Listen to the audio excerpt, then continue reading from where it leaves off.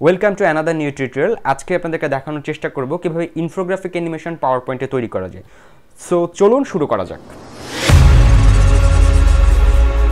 So প্রথমে আমরা একটা ব্ল্যাঙ্ক স্লাইড খুলে নিব, যার জন্য রাইট বাটন ক্লিক করব এবং নিউ স্লাইড এই অপশনটিতে ক্লিক করব। সো ব্ল্যাঙ্ক স্লাইড খোলা হয়ে গেলে এবার আমরা চলে যাব ইনসার্টে ইনসার্ট থেকে শেপ শেপ থেকে আমরা ওভাল শেপটি নিব এবং শিফট ধরে ড্রাগ করব। শিফট ধরে ড্রাগ করব এই কারণে যেন শেপটা গোল হয়। শিফট ছাড়া ড্রাগ করলে শেপটা গোল হবে না। দেন আমরা শেপ আউটলাইন নো আউটলাইন এবং শেপ ফিল একটা কালার দিয়ে দিব শেপ ফিলের দেন এটাকে পজিশন ঠিকঠাক মতো বসিয়ে কন্ট্রোল ডি চেপে দিবা। তাহলে কী হবে? এটা ডুপ্লিকেট হয়ে যাবে। অর্থাৎ আরেকটা কপি হবে। সেম ওইটা আমরা একটা জায়গায় বসাবো এবং এটা আমাদের প্রয়োজন মতো বড় করে নিব। শিফট ধরে বড় করব যাতে যাতে রাউন্ডটা শেপটা গোল হয়। এবার কালারটা চেঞ্জ করে দেবো। অর্থাৎ পজিশন বসিয়ে শেপ ফিল থেকে কালার চেঞ্জ একইভাবে কন্ট্রোল ডি চেপে বাকিগুলো ডুপ্লিকেট করে নিব এবং পজিশন মতো বসিয়ে কালারটা চেঞ্জ করে দিব। বড় ছোটো প্রয়োজন মতো করে।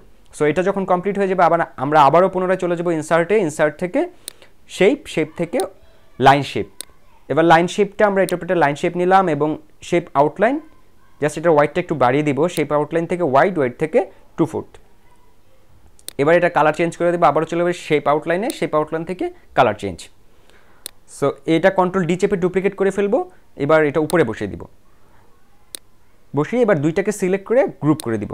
সো গ্রুপ করার পর কন্ট্রোল ডি চেপে ডুপ্লিকেট করব ডুপ্লিকেট করে এটার উপরে বসালাম এবং কালারটা চেঞ্জ করে দিলাম। একইভাবে বাকিগুলোর উপর বসাবো এবং কালারটা চেঞ্জ করে দিব।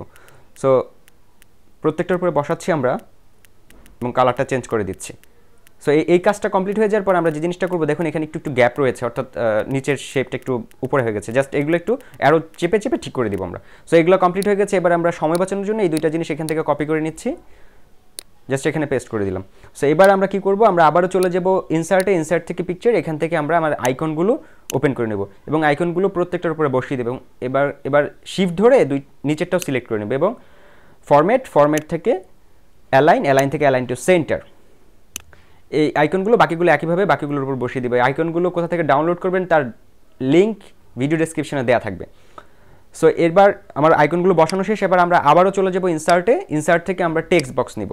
টেক্সট বক্স নিলাম, এখানে একটা টেক্সট বক্স দিলাম এবং এখানে টেক্সট বক্সে একটা নাম্বার দিব জিরো ওয়ান দিলাম এবং এটাকে সিলেক্ট করলাম T W C N M T এটা দিলাম এবং টোয়েন্টি ফোর ফ্রন্ট সাইজ এবং কালারটা চেঞ্জ করে দিলাম এবং রাইট সাইডে করে দেবো এটাকে।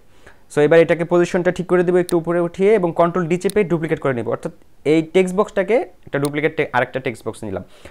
সো এবার এটাতে আমরা একটা টাইটেল লিখব। যেমন আমরা ধরুন এটা টাইটেল দিলাম team Newton T W M Newton okay just এটাকে সিলেক্ট করে আপনি আপনার প্রয়োজন মতো এবং মানে সুন্দর দেখায় এরকম একটা ফ্রন্ট সাইজ নিয়ে এটাকে একটু বড়, ছোটো বা যে, যেভাবে করলে আপনার মনে হয় যে সুন্দর লাগছে, সেরকমভাবে আপনার করতে পারেন। যেমন আমরা এখানে আঠারো দিয়েছি সো না, আমি আসলে ষোলো দিলেই ভালো লাগছে। সো আমি ষোলোই করে দিচ্ছি এবং একটু ছোটো করে দিলাম। এবার কন্ট্রোল ডি চেপে এটাকে আবারও কপি করে নিলাম। এবার আমি এখানে ডিসক্রিপশন লিখে দেবো একটা। সো আমি এখানে একটা কিছু লিখে দিচ্ছি। কী লেখা যায়?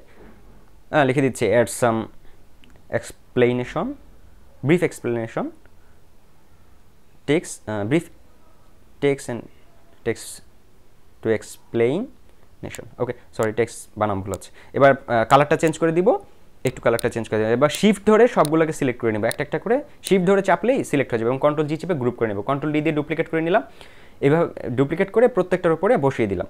সো এবার আমরা যেটা করব প্রত্যেকটার লেখার কালারগুলো চেঞ্জ করে দিব এবং নাম্বারটা চেঞ্জ করে দিব। আর যেই লেখাটা রাইট সাইডে আছে সেটাকে লেফট সাইডে করে দিব। যেটার লেফট সাইডে আইকনগুলোর পিকারগুলো রয়েছে। সো এটা যখন কমপ্লিট হয়ে যাবে, এবার আমরা অ্যানিমেশন অ্যাড করব। তার জন্য প্রথমে এটা সিলেক্ট করে নিলাম অ্যানিমেশন চলে গেলাম অ্যানিমেশন অ্যাড অ্যান্ড জুম সেমভাবে এখান থেকে আমরা দিব after preview fifty second duration and ten second delay সে সেইমভাবে আমরা এবার এটা সিলেক্ট করব, আইকনটাকে সিলেক্ট করলাম অ্যাড অ্যানিমেশন অ্যাড অ্যানিমেশন থেকে জুম এবং এখানে স্টার্ট থেকে after preview fifty second duration and ten second delay এবার আমরা এটাকে সিলেক্ট করে নিব এবং অ্যাড অ্যানিমেশন অ্যাড অ্যানিমেশন থেকে ওয়াইপ ওয়েব থেকে ইফেক্ট অপশনে চলে যাব। যে দেখতে পাচ্ছেন পাশে একটা ইফেক্ট অপশন আসে। এটা দিব আমরা রাইট ফ্রম রাইট এটা দিলাম। দেন আমরা এখান থেকে আবারও চলে যাব স্টার্টের পাশে। এখানে দিব after preview fifty second and ten second so একইভাবে এটাকেও সিলেক্ট করে নিলাম এবং অ্যাড অ্যানিমেশন অ্যাড অ্যানিমেশন থেকে জুম এখানে after preview fifty second duration and ten second delay okay so সেমভাবে এটাকে সিলেক্ট করে নিলাম add animation zoom after preview 50 second duration and ten second delay okay এটাকে সিলেক্ট করব। After preview sorry add animation আগে add animation করে নিই। Add animation zoom and after preview fifty second and ten second delay সেমভাবে আমরা এবার নিচেরটাকে select করে নিব এবং একটা অ্যানিমেশন অ্যাড করে দেবো। অ্যাড অ্যানিমেশন ওয়াইপ অ্যান্ড এটা ফ্রম রাইট এবং ওখান থেকে স্টার্ট থেকে সরি এটাকে স্টার্ট থেকে click after preview fifty second duration and ten second দিলে সো একইভাবে এটাকেও সিলেক্ট করে নিলাম add animation zoom after preview fifty second and ten second দিলে সো এবার আমরা এটাকে একটু চেক করে দেখি যে আমরা যে দুইটাতে অ্যানিমেশন অ্যাড করলাম, যে অ্যানিমেশনগুলো কাজ করছে কিনা। সো চলুন দেখি আমরা চেক করে। দেখুন অ্যানিমেশনগুলো কাজ করছে।